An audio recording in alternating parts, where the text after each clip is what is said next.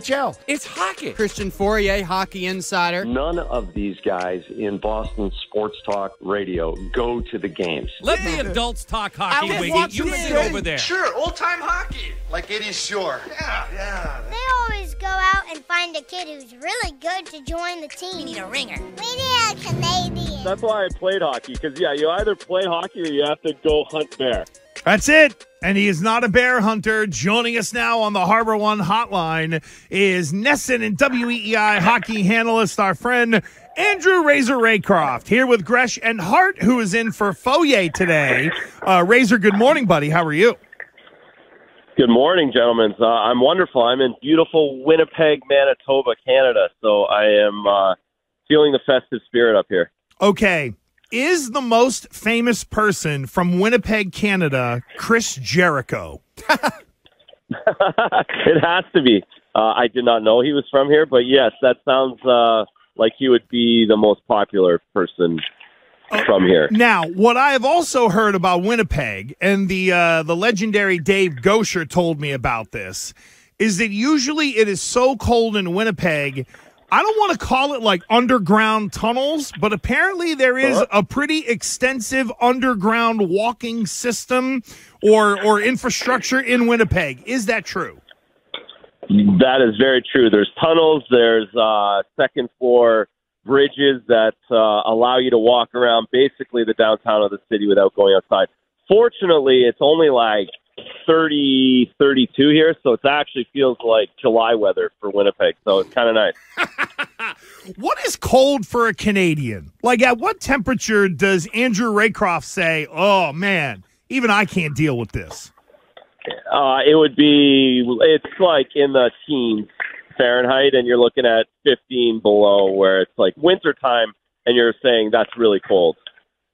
Wow. Uh, so let's all talk. about layers, guys. It's all about layers. It is. That's true. That is true. Um, it's about. Canadians don't like weather. We don't like cold. We just know how to prepare better for it. That's the difference. Wait, if you don't like cold, why don't you just move out of Canada? Oh, you did. Well, yeah, it's not, yeah, exactly. But you went to Boston, so Yeah, I was gonna say it's not like he's in uh, Phoenix or something like that, you know. so with the Bruins Yes. uh, playing the Jets here, um, would you say they have they're scuffling? Are they fledgling? What's the Bruins' mentality heading into this game? Well, Winnipeg's really good. Uh, so that's their first mentality is that their focus and their antenna antenna should be up for this group. Uh, they're playing really well. I, I don't. I wouldn't say scuffling. I think the league's really hard, and I think you look at seventy-eight percent of the teams are 500 over the last 10 games. Everyone's kind of beating each other. Everyone's grinding for points. There's teams that are in big trouble that are looking five, six, seven points out of the playoff spot at this point, and are saying we need to go. And I think we saw that with Minnesota the other night, how desperate they were playing against the Bruins. And I think you're seeing uh, more of those teams right now. So the Bruins are in a great spot. They went on their 10 game run early in the season, and now it's just about getting better. But but the league's really hard, and I think the way the Bruins won every game last season, it's easy to think scuffling, but I think this is more normal for an NHL season the way they've gone the last while. And they didn't have Zach, they didn't have McAvoy in three, four, five of those games, and they got points. And I think that just goes to show the resilience of this group. Razor, you mentioned that the league is tough right now. Is that because the league has kind of come to the middle, or are there a significant am- uh, amount of teams in the NHL that are getting that much better? No, I think it's coming to the middle a little bit. Uh, without being able to make trades, without having a real big free agency market last summer, everyone kind of had to stay status quo, and, and the salary cap has really forced parity, and, and that's what the league wanted in the start. But the fact the cap didn't go up this summer, I think the parity is even more so, and, and it's also really hard through the holiday season. I think you see kind of middle of January the upper echelon teams take another jump. At this time of year, as you guys know, it's easy to be distracted. It's easy to be uh, thinking about other things, and I think that that adds into some of the bad habits and some of the the ugly losses that teams are taking. Speaking of losses, I think the Bruins are what two and six in overtime, and I was reading how they kind of focused on three on three in practice the other day. What, where do those struggles stem from? Do you think they're capable of turning that around? What, what's that issue all about? Well, they're they're certainly capable of turning it around, but it is two and six isn't good, and and I think that I think that, that that alone though has also raised the urgency. You, you talked about them. I was at practice yesterday. Worked on it for five or ten minutes. A lot of it is defense um, and holding on to the puck possession wise. Jim Montgomery yesterday talked about the shot the DeBrusk took that led to the three on one the other way. You can't do that in overtime, and if you are going to take that shot, it better hit the net.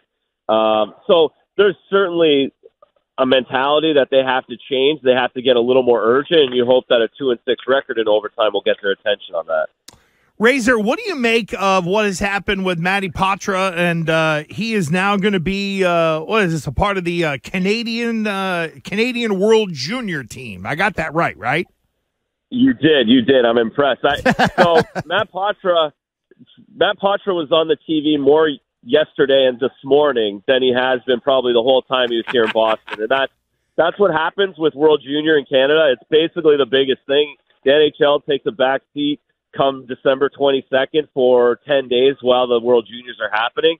Um, it's a good opportunity for Matty Poitras. Again, when the season started, he probably was dreaming of playing one NHL game and then playing in the World Junior Championships. And for him to be able to bang two of those things out within the first three months of this season uh, are are big positive. He's got to go. He's got to dominate. He's got to take the NHL pace and skill that he's learned and and do really well over there. So it's good for him. Of course, you never want to leave the NHL ever.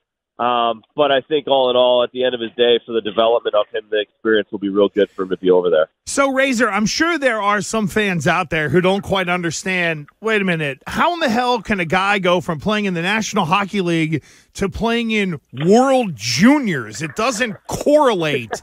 can you kind of explain sort of the setup, how we got to the point to where he can be on this team, and then can he come back to the Bruins once this is all said and done?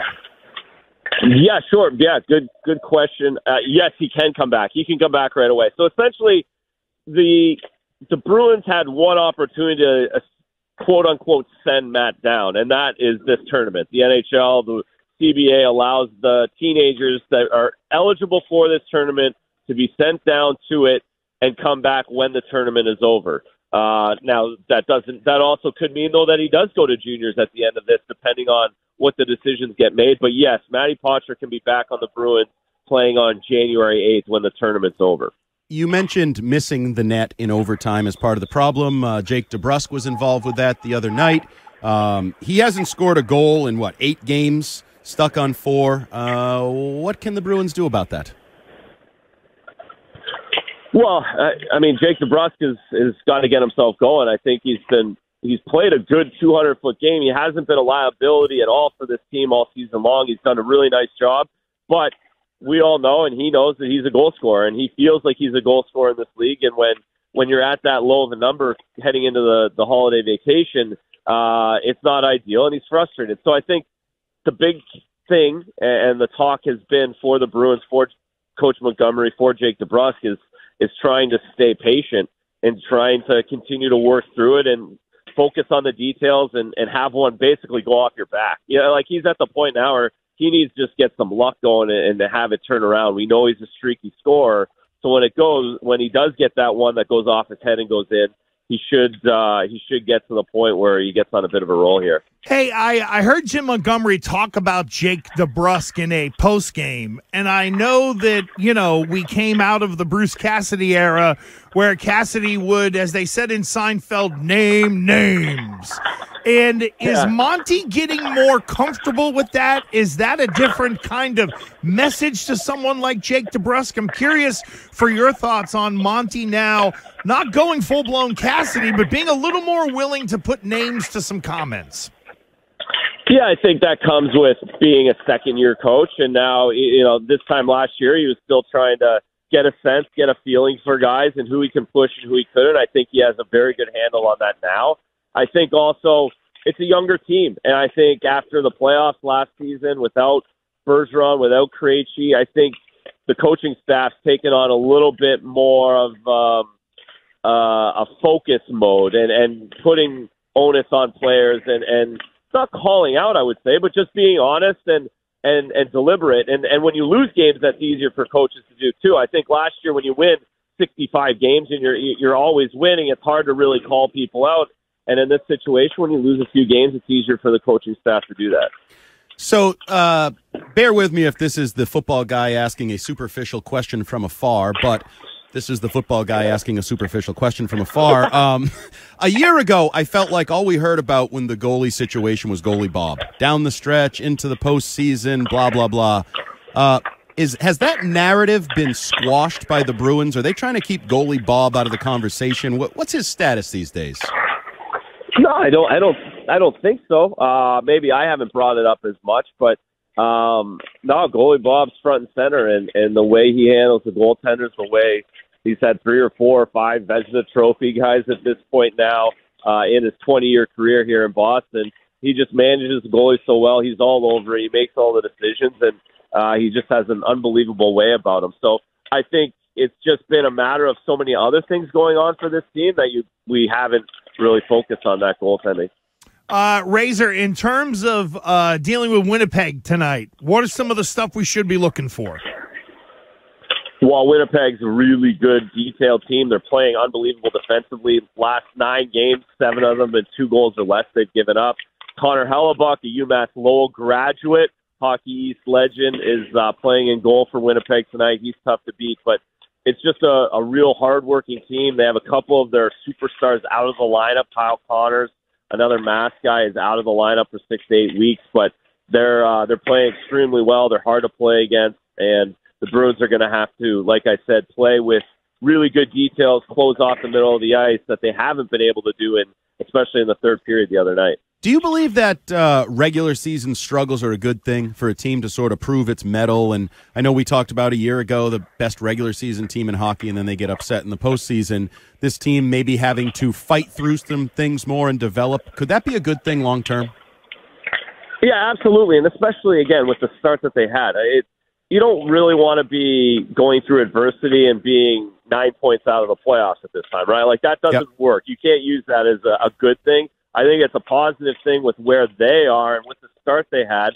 They're still second in the NHL in points, right? Like they're really, really good. They're at the top of the National League, and and it is good to figure out how to play overtime better, play in these tighter games. I think it will benefit them rather than winning four to one every game like they did last season. Uh, Razor, is there anything in Winnipeg other than the hockey game that you are at tonight? Is there anything that excites you about Winnipeg? Is there a restaurant? Is there a something? Or is Winnipeg just the Cleveland of Canada? Wow.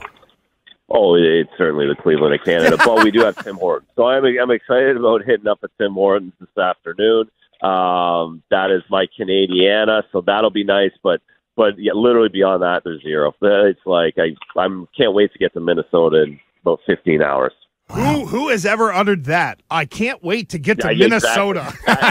That's the point. That is the point. Yeah. well, Razor, have a uh, have a great uh, holiday on the road, friend. I know we'll be uh, watching. I know Fauria and I are off uh, next week. I know you are as well. We'll pick back up after the first of the year. Thanks a bunch. Uh, all the best to you and your family, and uh, we'll talk to you soon. You too, guys have a great holiday. Hard to imagine it's 2024 when we talk again, but that's what we're doing. So have a great holiday, great New Year, and and thanks for having me on. Thank you, buddy. We appreciate you. There goes Andrew Raycroft with us on the Harbor One Hotline. Some speculation on the text line that he was wrapping gifts while talking to us. You know what it was? It was the. Uh, it did kind of sound like it, but it was uh, all the pucks being. Uh, I'm pretty sure he's at morning skate. Yeah, yeah, that's what it Hey, sounded maybe like. he's doing his wrapping there. no, he was. Uh, he was doing Maybe. good. Triple tasking. Uh, also, Roddy Piper is uh, allegedly from Winnipeg. He he was. There's a there's a uh, a couple different stories there of the whole. He might have been like From born- parts unknown? No, born on like an Indian reservation or something like that. That that whole thing is a little weird. I just know that. Like there are not a lot of famous people from Winnipeg. It's either pro wrestlers or hockey players, one of the two. I mean, that's really about it. I'm going to check during the break. I think you should because uh, we I want to prove you wrong.